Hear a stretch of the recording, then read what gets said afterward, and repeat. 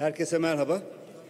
Günlerdir her türlü yalan ve hileyle toplu kıyımların önünü açmaya çalıştığınız ve başıboş dediğiniz sahipsiz hayvanlar üzerinden bir fırtına koparıyorsunuz.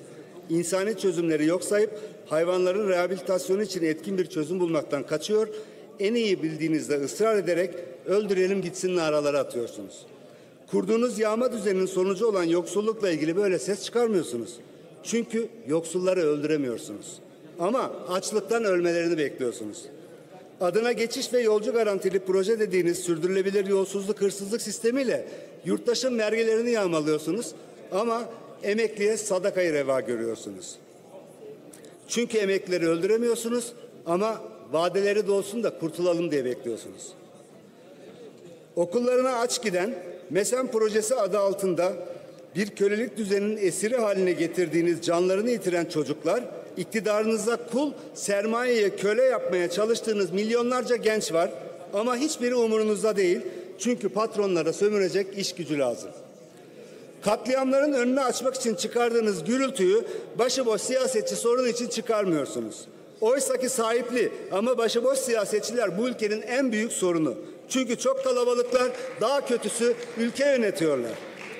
Peki kimlerdir, nasıldır bu başıboş siyasetçiler? Her şeyden önce kirli bir geçmişin sahip mirasçısıdırlar.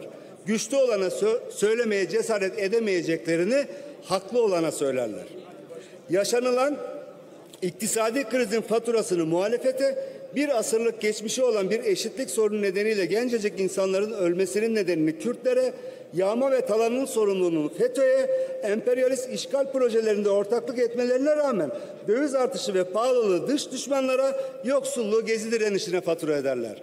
Paraya ve güce taparlar, tüccardırlar. Memleketin dününü, bugününü, yarınını, gözünü kırpmadan satarlar.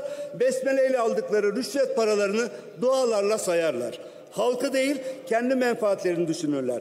Bu yüzdendir ki kimseye derdini sormaz ama herkese dinini sorarlar. Hukuksuzluklarına karşı çıkanların sesini ezanla duyulmaz kılar, suçlarını bayrakla örterler. Savaş çığırtkanıdırlar. Siyasetle çözülecek bir sorunu iktidardaki ömürlerini uzatmak için yoksul çocuklarının kanına karşılık devam ettirirler. İktidarlarını kanla beslerler.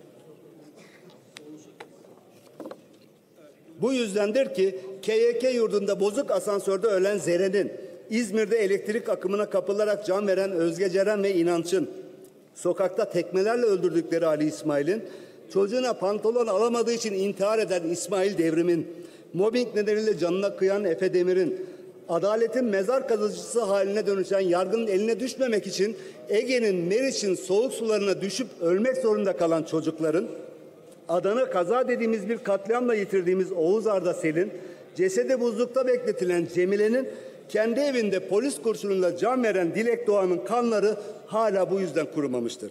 Vicdan yoksunudurlar, emri onlar verir, çocuğu öldürülen anneyi onlar yuvalatırlar. Sadece iktidarı aldıkları günden bugüne 30 binden fazla işçi iş cinayetlerinde ölmüşken onlar fıtrat överler, güzel öldüler derler. Faili belli katliamın başrolüdürler kamusal denetimin ve kontrolün olmadığı ihale dağıtımının ahbap, ahbaplık temeline indirgendiği, kentlerin yağma ve talan üstüne kurulduğu bu dönemde 6 Şubat'ta yaşanan depremi kader diye açıklamaya çalışırlar.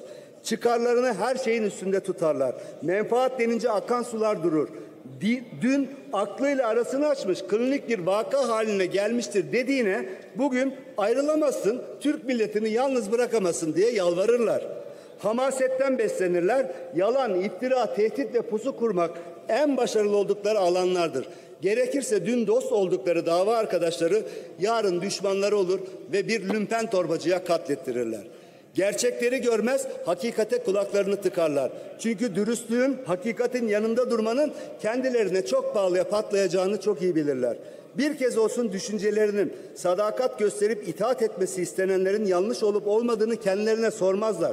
Gerçekleri değil, gürültüyü dinlerler. Sonra da yaşa ya da kahrol diye koroya katılırlar. Onlar için özgürlük değil, rehinelik, özgüven değil, güce tapınma, aklını değil, efendisinin büyüklüğü önemlidir. Efendisinden makam, mevki, para, mutluluk dilenirler ki güvenceli sandıkları bir yaşamları olsun. Başı dik olmanın cesaretini bilmediğinden yaşamı boyunca başını eğmekle geçecek bir karşılığın bedelini öderler. Diyeceğim Diyeceğim o ki bir insanın haysiyetli olup olmadığı menfaatleriyle doğruları arasında tercih yapmak zorunda kaldığında anlaşılır.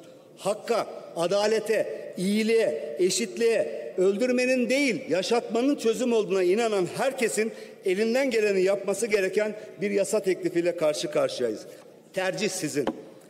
Bir katliam yasasını canhıraş savunduğunuz günler boyunca tanık olduklarımız üzerinden size bir hatırlatmada bulunacağım. Kitabı olan olmayan bütün dinlerin yasakları ve haliyle en büyük günahları aynıdır. Kul hakkı yemeyecek, hırsızlık yapmayacaksınız. Rüşvet almayacak, öldürmeyeceksiniz.